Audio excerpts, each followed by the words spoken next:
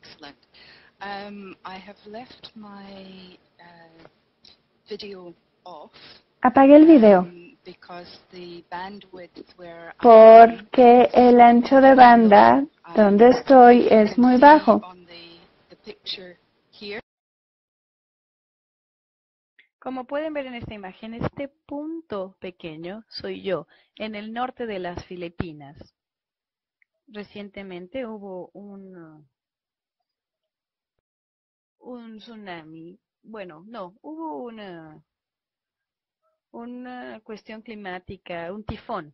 Entonces, estamos tratando de lidiar con la situación, el desastre que dejó el tifón. Ahora ya pasan de las 3 de la mañana y a las a sus 10 de la mañana me conecté para ver qué tal estaba la conexión, para tratar de formar parte de la conversación.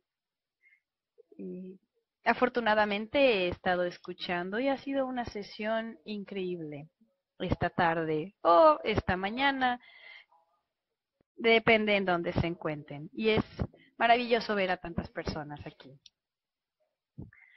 El escuchar las sesiones que se han mencionado acerca de cómo desarrollar la carrera, las habilidades, me enfoco más acerca de cómo crear este futuro. La sesión que tenemos el día de hoy, el poder construir estos puentes en la práctica de la evaluación. Habla de asuntos muy importantes y estoy segura que no será la última vez en la cual Evaluate se conecte de esta forma para crear estos puentes entre nosotros. De lo que les hablaré, oh, llegué muy lejos.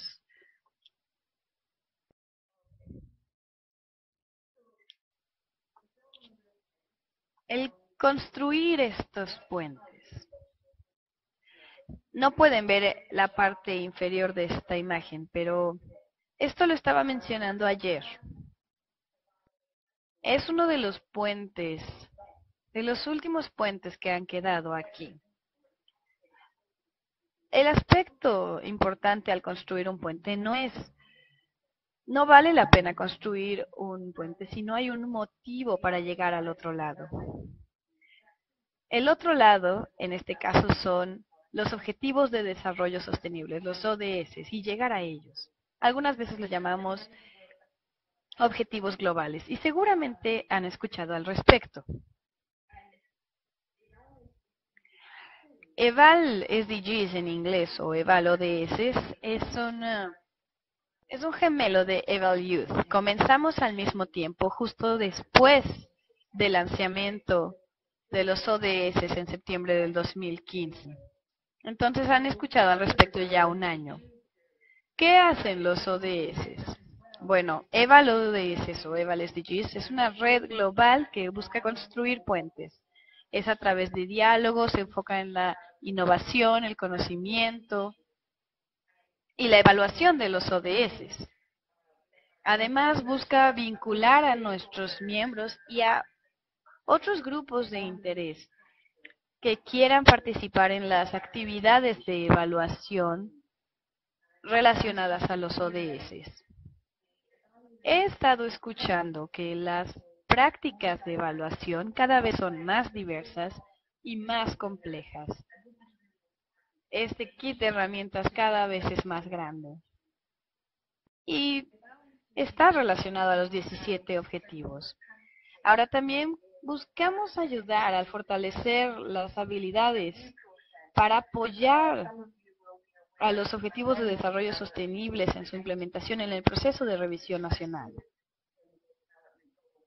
Antes de los objetivos de desarrollo sostenible estaban los objetivos de desarrollo del milenio y ahí se revisaron los procesos que se llevó a la conclusión de que no estaban lo suficientemente profundizados y necesitaban mejorarse. La evaluación, por tanto, tiene un rol fundamental dentro de los ODS. Y finalmente buscamos en cómo crear estos puentes entre las iniciativas de evaluación y hacia dónde quieren llegar. Seguramente ustedes se preguntan, ¿cómo es que esto se relaciona con otras personas en otros países y con los otros sectores de evaluación? Una de las cosas que nos interesan es ver cómo es que el aprendizaje o el estudio de la evaluación se puede relacionar al conocimiento que se tiene de los ODS.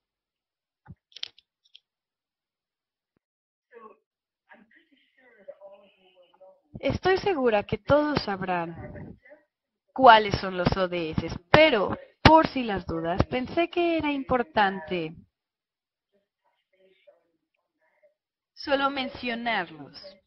Se crearon en el 2015, como mencioné, se lanzaron en septiembre. Son 17 objetivos, como pueden ver aquí, y seguramente algunos de ustedes están familiarizados con ellos. Tienen 169 subobjetivos en los objetivos generales. Puede que piensen, oh, es una enorme cantidad. Pero, si ven aquí, hay ciertos indicadores por cada objetivo y no nos vamos a enfocar en todos los objetivos de desarrollo. Lo importante acerca de los ODS es que son prioridades para todas las naciones. Los objetivos de desarrollo del milenio se enfocaban más en desarrollarse en cada nación. Pero ahora nos dimos cuenta que cada país tiene sus propios desafíos, que puede haber pobreza extrema en algunos países, mientras que en otros hay afluencia o hay drogadicción o personas sin un hogar.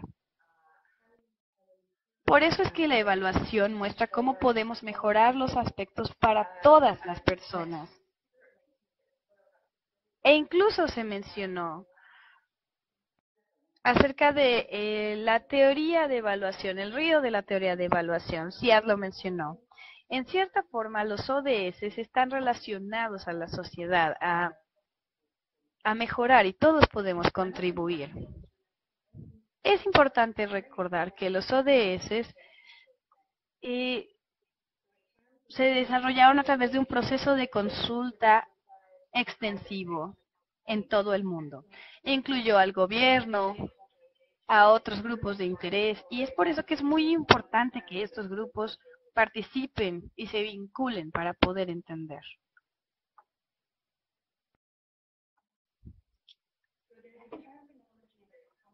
Hay una terminología como resultado de los ODS. Lo siento, esto es un poco sensible. Hablamos de la localización de los ODS. ¿Cómo se pueden involucrar en todo lo que se haga en los ODS dentro de su país, dentro de sus áreas o dentro del sector en el que trabajen? Este es un nuevo enfoque en el que queremos trabajar. ¿eh? Estamos trabajando con diferentes países para decir cómo es que trabajan con los 17 ODS y cómo los traen a su país en los distintos niveles. Lo que podemos hacer es promover la importancia de la evaluación en el proceso y asistir eh, la, a la comunidad de evaluación para que conozcan cuáles son los ODS, para que sepan de su existencia. Hay muchas personas en el sector de la evaluación que no están conscientes acerca de las prácticas que se hacen alrededor de los ODS en cuestiones de evaluación. Otro factor es orientar y apoyar las actividades gubernamentales había una pregunta. ¿La evaluación se lleva a cabo únicamente en el sector internacional? No, por supuesto que no. Hay mucha actividad en cada país y dentro de los gobiernos, dentro de las organizaciones de sociedad civil, el sector privado. Así que la idea de los ODS es realmente promover hacia todas las direcciones los ODS. Sobre todo en los ODS se enfocan en que nadie se quede atrás. Aquí ya podemos hablar de asuntos de equidad social, sobre los cuales Donna habló. Ahora, ¿por qué es que los evaluadores emergentes y evaluadores jóvenes juegan un papel eh, especial en la evaluación y en los ODS? Para el 2030 los líderes actuales ya no estarán. Estos eh, jóvenes evaluadores emergentes serán los líderes de la evaluación de los ODS del futuro. Por eso es que todos ustedes deben estar conscientes de los ODS en práctica. Ya existe una demanda para la evaluación. Hemos hablado con varios países acerca de los planes que tienen con los ODS y tienen hambre de conocimiento sobre la evaluación, acerca de cómo los podemos ayudar para trabajar rápidamente y poder lograr los ODS. Si para el 2030 los jóvenes eh, evaluadores eh, emergentes no contribuyen las prácticas que aprenden para poder tener un mejor resultado, me parece que las metas de los ODS que vengan de esta iniciativa no se podrían alcanzar en la forma en la que se podría. Por eso es que estos evaluadores jóvenes son quienes tienen las posibilidades y las contribuciones necesarias para los ODS. Escuché en varias presentaciones el tema de la complejidad. Esto es algo recurrente. La gente dice, ay, son 17 ODS. ¿Por qué 17? Básicamente, ese fue el concepto. Existe una complejidad, como en cada área, y aunque hablamos de hambruna, por ejemplo, hablamos también de nutrición, los cuales son dos procesos distintos, ya que se lidia con una desnutrición, también podemos hablar de obesidad, es decir, depende del país.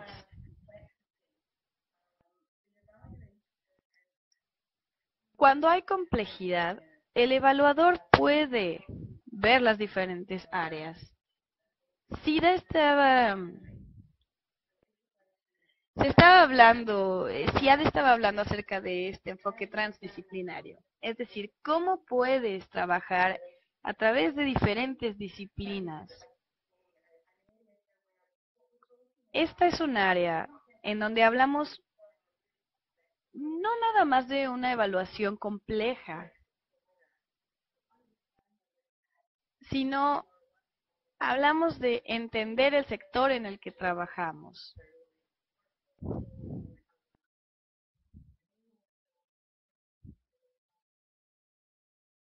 Puede que necesite considerar, por ejemplo, una transcripción o el acceso.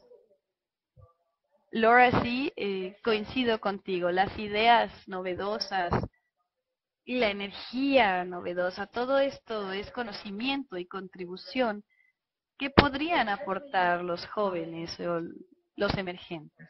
Ahora, ¿cómo funciona el trabajo de evaluación en los ODS? ¿Cómo lo podemos aplicar? El ejemplo que viene a mi mente, el área en la que me encuentro, gracias a mi colega que tomó esta fotografía, era, bueno, sufrió por el tifón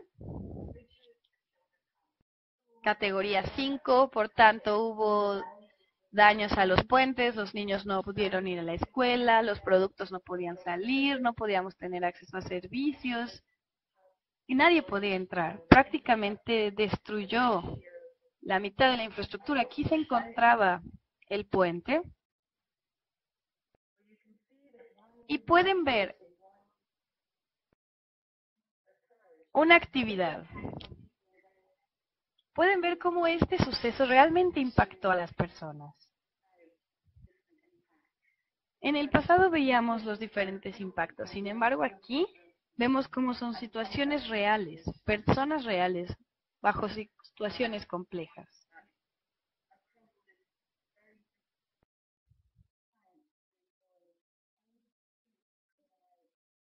Aquí vemos, esta es la comida, la gente, esta es la forma en la que la gente va de sus trabajos.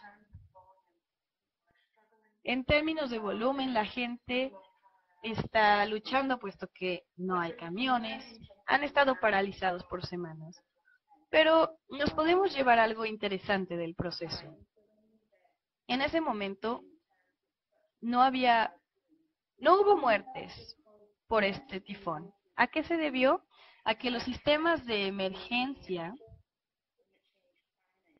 tuvieron una planeación completa, una coordinación y fueron excelentes. Tuvieron éxito, hubo gente preparada, la gente sabía qué hacer.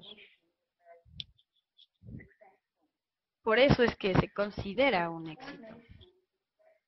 La coordinación para que las personas avancen lo más rápido posible fue excelente.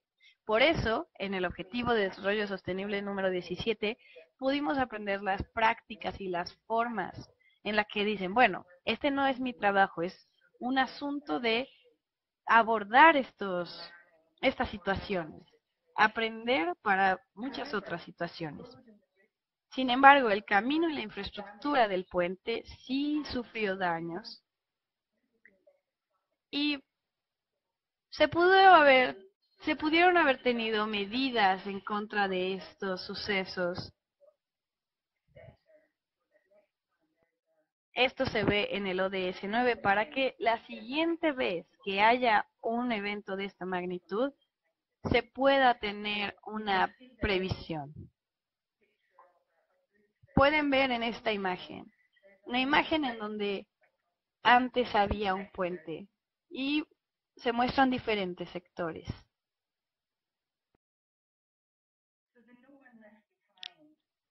Que nadie quede atrás. Las familias más pobres son las que reciben el impacto de la peor forma, porque es más difícil que ellos puedan llegar allá. Sin embargo, aprendimos mucho al respecto. Estas familias son las que reciben el peor golpe. ¿Por qué? Porque tienen una vivienda más insegura, por tanto el daño es mayor. Y no tienen ahorros, porque incluso a través o en el río tienen 20 pesos por persona. Entonces, ¿cómo obtienen el dinero? Realmente sufren También en esta plataforma, no sé si puedan verlo, pero hay trabajadores de, del sector eléctrico que están tratando de brindar los servicios esenciales y que puedan funcionar nuevamente.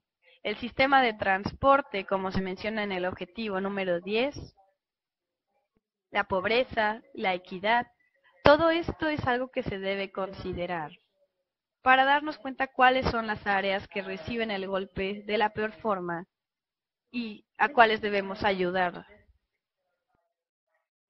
El vincular este tipo de hallazgos hacia otras áreas y evaluaciones puede ayudar a gestionar las emergencias y a mejorarlas, no nada más en, en el país, sino en diferentes países.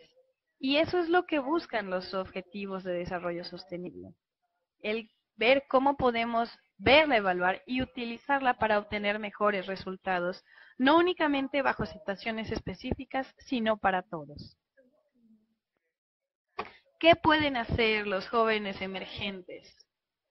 Estos evaluadores pueden estar informados, actualizados acerca de los procesos de los ODS hay ya herramientas en línea, seguramente ustedes siguen la base de datos y como Laura mencionó ya, se pueden promover las nuevas ideas y los nuevos métodos. Esto es en términos de la capacidad de utilizar los datos, las herramientas de comunicación. Hay oportunidades muy interesantes en el futuro que pueden utilizar para generar nuevas evaluaciones.